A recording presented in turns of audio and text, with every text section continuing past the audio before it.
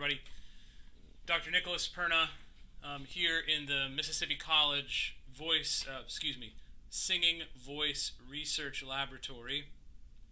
Uh, and I wanted to hop on because we have a little thread going in one of our groups about um, a previous video I made of making some different sounds um, in in either uh, classical or musical theater terms, and uh, asked some questions about what I thought about it um, in the sounds that I was making regarding um, which was a previous research area of mine, and um, this device um, is an old crude nasometer.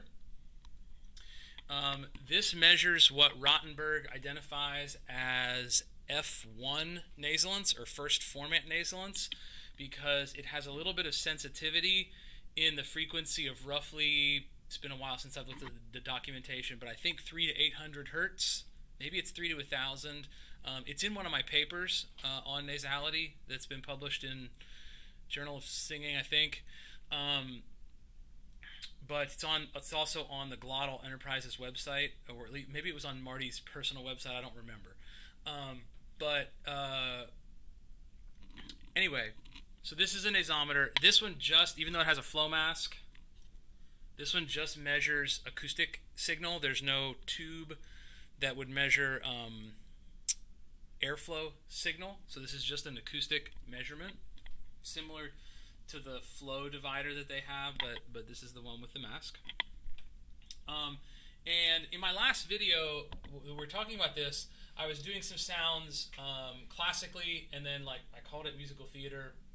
I don't know, you could call it whatever you want, really. Just in two different kinds of singing, where I was trying to emphasize the way a classical tenor turns over, and then kind of de-emphasizing that and allowing the voice to stay open to a higher frequency. So what I'm talking about I was using A scales.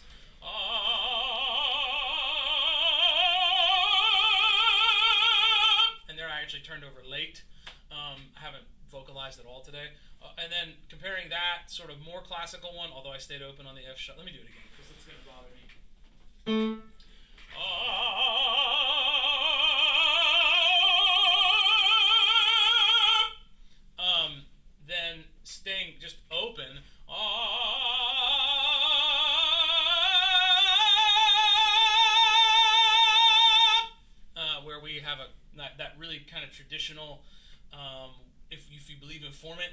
Or, or, or resonance tracking, um, kind of tracking the second harmonic with that with that lower vocal tract resonance that we commonly see reported on. Um, also, some differences in the clustering of my of my singers formant. At least, if I go back and look, I imagine there should should have been. Um, but the question was posed like, what, what about nasalance with with that? Um, so let's let's let let's see. I'll, I'll do the classical one first. Actually, let me just go back and well, let me just go back and forth on the A between the two sounds a little bit, so you can get an example. Let's take my glasses off. To do this.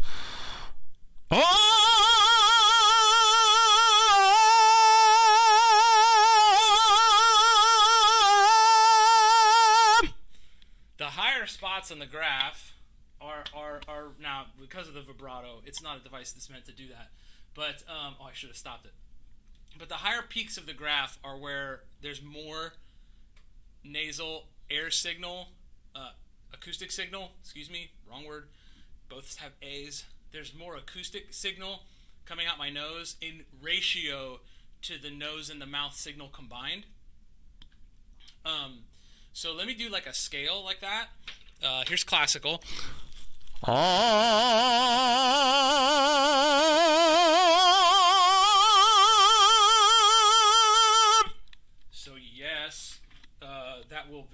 please uh, Dr. Glasner to see that I am employing some VPO as I ascend through Passaggio. Um, now let me do it the other way.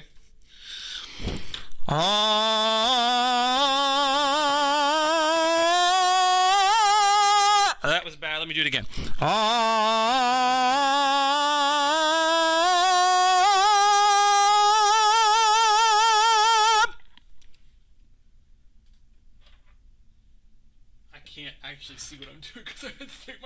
off. um, you'll ha- I'll have to go back and actually do a comparison of those two. I mean, it looks like honestly, if I if I'm basing it on what I saw really quickly, you know, we're kind of hanging just under 20%, kind of on average. Um, this is 18.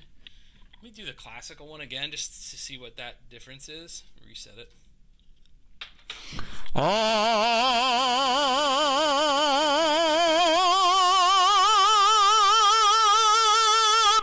That's probably higher. Nope, lower.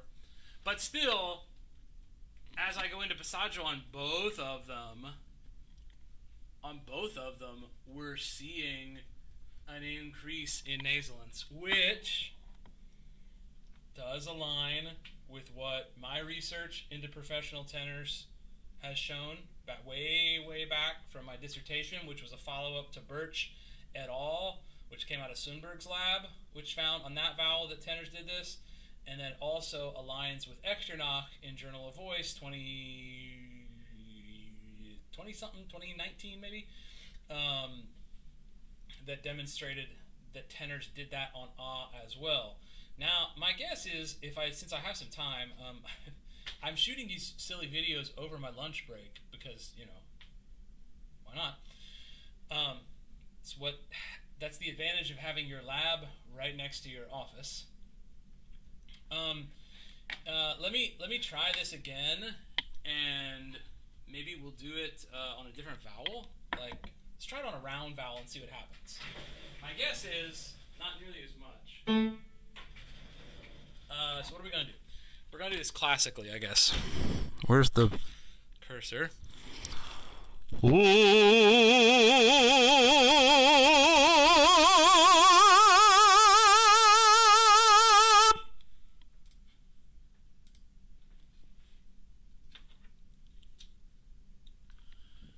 So there we go.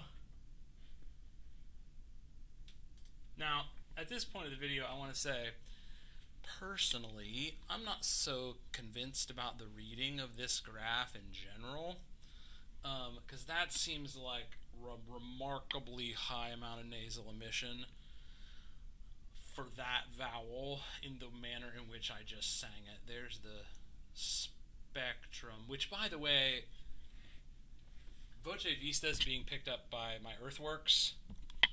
This is on a different channel of the virtual input. In case for you sound audiophiles who are like, wait, no, no, no, what's picking what up? There's obviously bleed happening, but I mean, it's not a clean audio signal coming from this. It's distorted because Voce Vista is distorted because it's coming literally through this.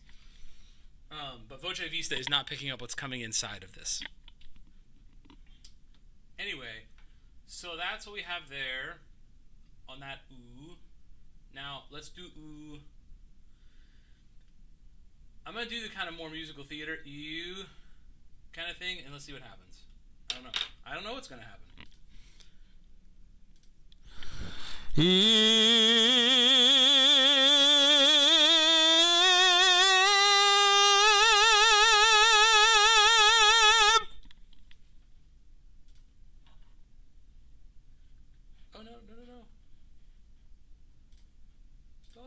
I missed it. Darn it. That was my glasses not being able to see what I was doing. One more time. For me. There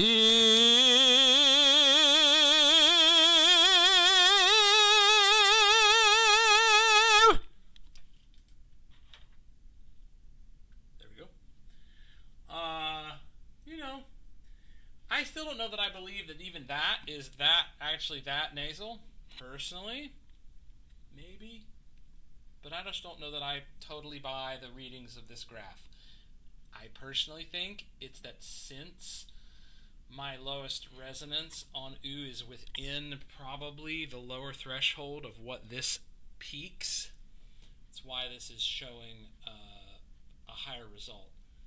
It's also possible on the Oz from before with this device that the reason I was actually showing higher VPO, higher nasalance, is actually due to the fact that this device was picking up my first vocal tract resonance engaging right before the turn and that that threw off the device. There's lots of variables, but I figured it would be cooler to make a little video than to type out a long-winded explanation because um, this can then be just up for posterity. Uh, should I do a frontal vowel before we before we go? Okay, let's do that. Okay.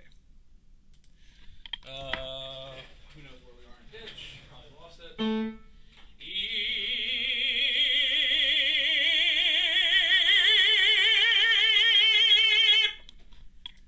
There's what that looked like. This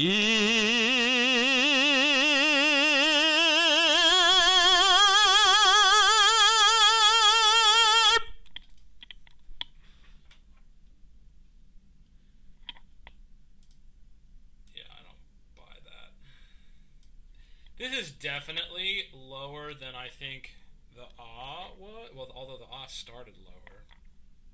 But again, is it that way because that first resonance tracks early enough and is brought out enough? I don't know. I just don't know that I buy it. Eh, it's possible. It's possible. I'm already singing with some VPO there, but I don't know. Let's see what happens if we switch. So we're gonna go to E. Stop. Uh, so we're gonna do like a. E.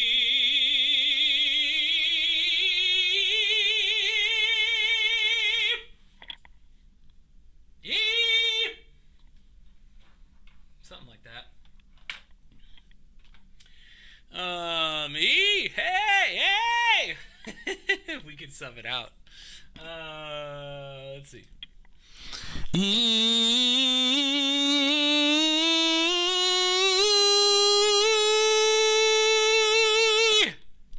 Now that one, I would have expected to have. That one, see, I would expect to have. That was our be- highest average nasalance, and that one I kind of would have expected the way I did that which was more than than the, the one I did classically. That one I kind of buy, and so that's when I, I I doubt myself. I'm like, well, was that real or was that just the device? I don't know. Um, the uh, newer Glottal Enterprises systems give us more true readings because they're measuring airflow. Um, but hey, we do what we can, right? Um, this was fun. Uh, and thanks for inspiring uh, another little lunch break video. Uh, one of my friends uh, from another friend sharing. Uh, thanks for sharing my videos, everybody. Fun. And uh, if you're interested in making a donation toward the Mississippi College Singing Voice Research Laboratory, you can get in touch with me, and I'll make sure that you get some information on how to donate.